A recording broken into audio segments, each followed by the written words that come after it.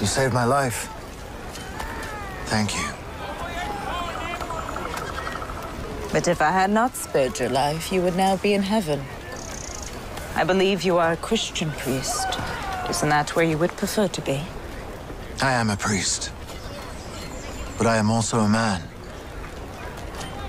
I love God. But I also love life. And do you love human beings? Our Lord loved all human beings. Do you love men and women just the same? I love women. Not just spiritually. We have no problems loving the spirit and the flesh. Our gods encourage it. And you have no guilt. No. I envy you.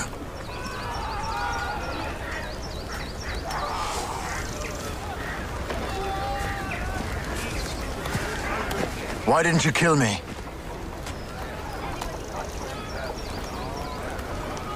I don't know.